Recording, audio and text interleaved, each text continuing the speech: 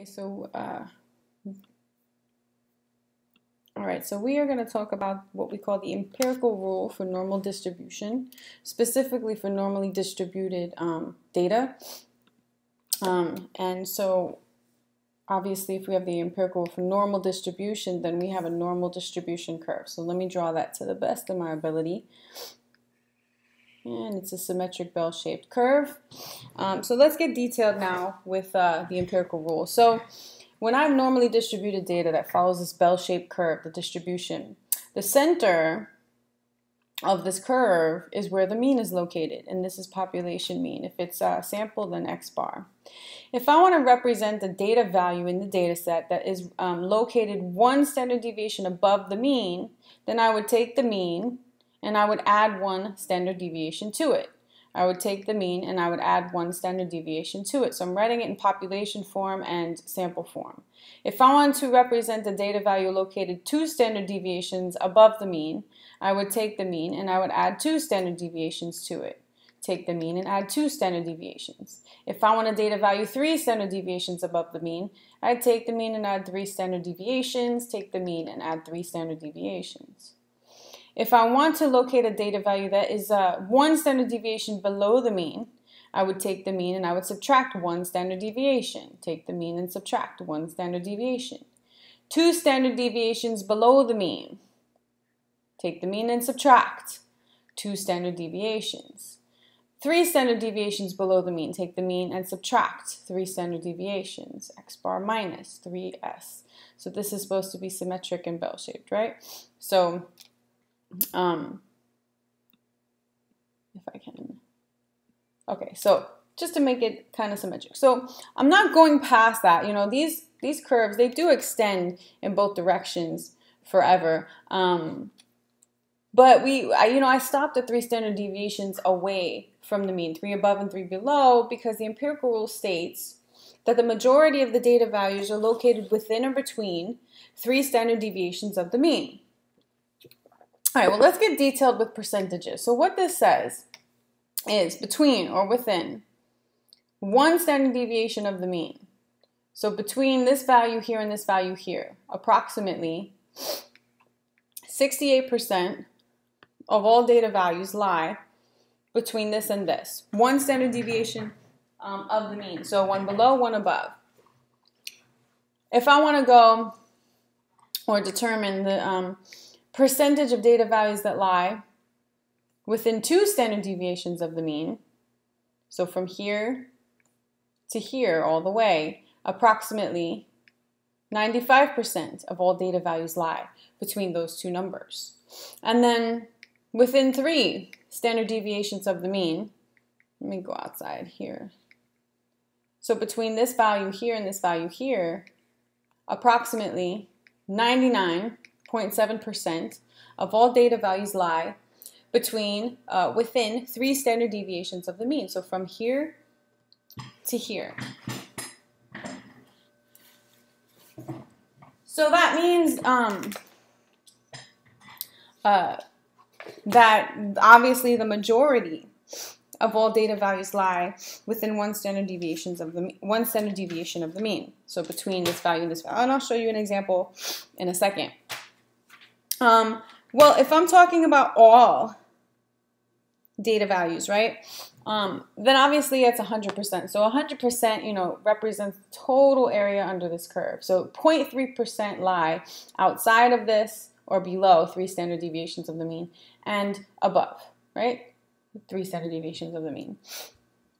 Um, so, you know, let me, uh, let me take that further. So let's say that Adult IQs is a typical example. Um, I'll stay in yellow. Adult IQ scores um, have a mean, and this is the population mean of 100, and a standard deviation of 15.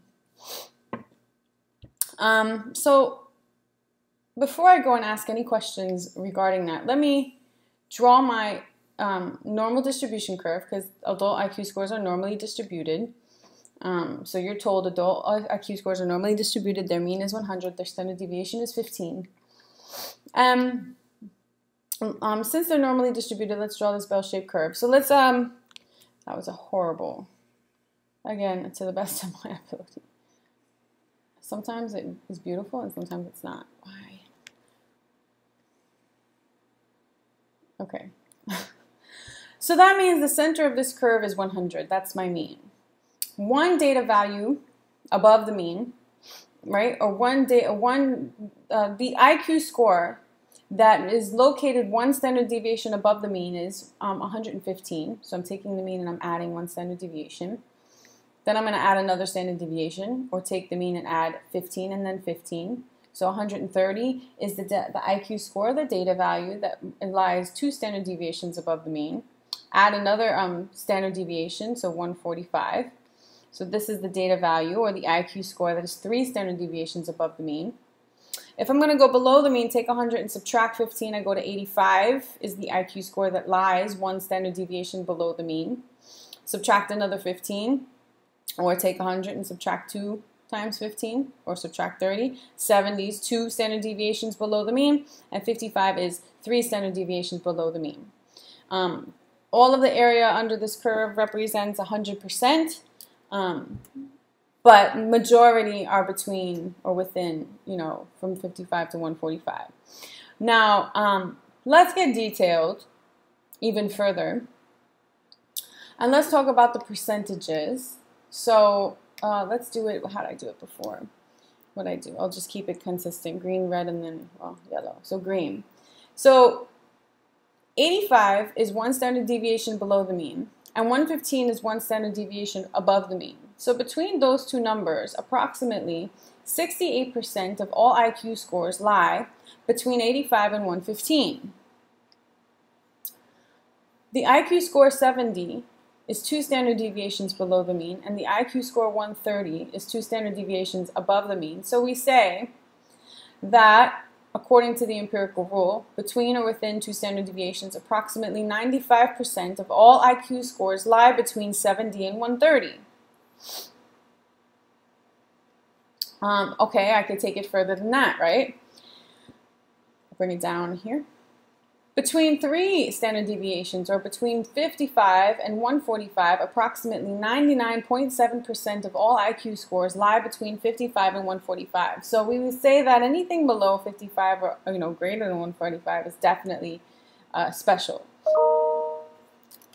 Um, so let me ask a couple questions based on what I'm saying here. Um, so uh, what percentage? So let me make that smaller. So based on what we just determined using the empirical rule, what percent of all IQ scores um, lie between 70 and 130?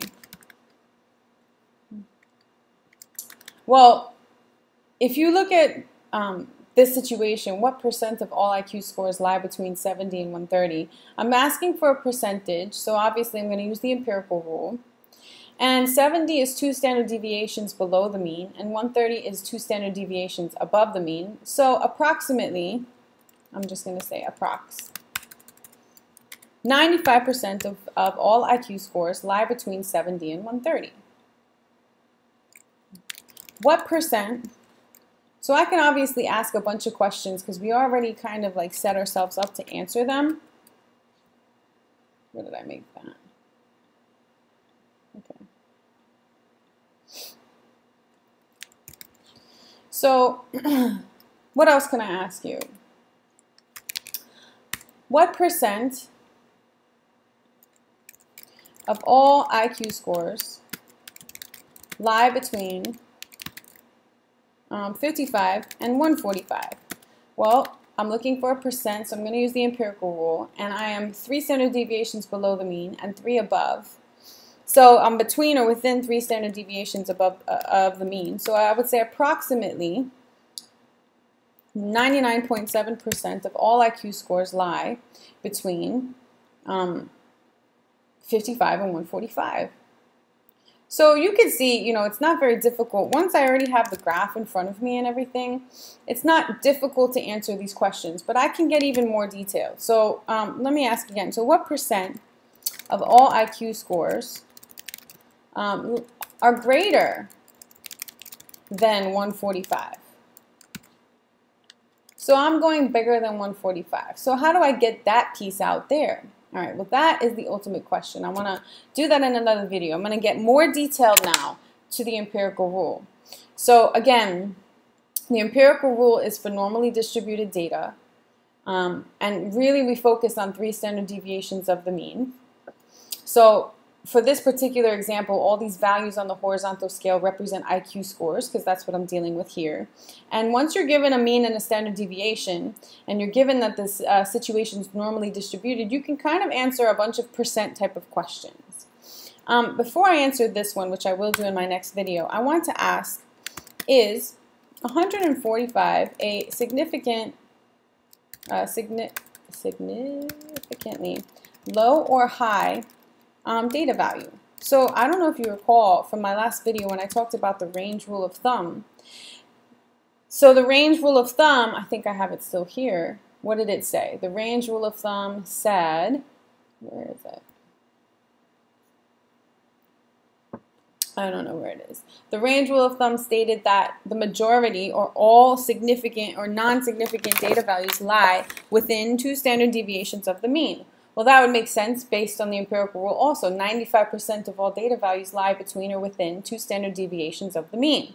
So if I go outside of two standard deviations of the mean, then I am significant. So if I'm above two standard deviations above the mean, or in this case, above 130, then I would call that a significantly high, let me write that here, data value, right? So anything greater than one standard deviation of the mean is significantly high. Anything less than, um, sorry, anything less than two standard deviations below the mean is significantly low. So where is 145 located? Is that a significantly high or low data value? Well, 145 is a value that is three standard deviations above the mean, which is more than two standard deviations above the mean. So therefore, we would say yes, it is significantly high. Um, let me ask another question. Is, one second, is 90 a significantly low or high data value? Well, where is uh, the IQ score 90 located? I should say is the IQ score because we're dealing with IQ scores. And then an IQ score, oops, of 90, a significantly higher low data value. Well, what do you guys think? Where is an IQ score? Uh, okay. Where's 90 located? 90 is located right here. Well, obviously between 85 and 100. So 90 is actually less than one standard deviation below the mean. It's, you know, almost one standard deviation below the mean, but it is within two standard deviations of the mean, right? It is between 70 and 130, in other words. So a score of 90 is not significantly low or high.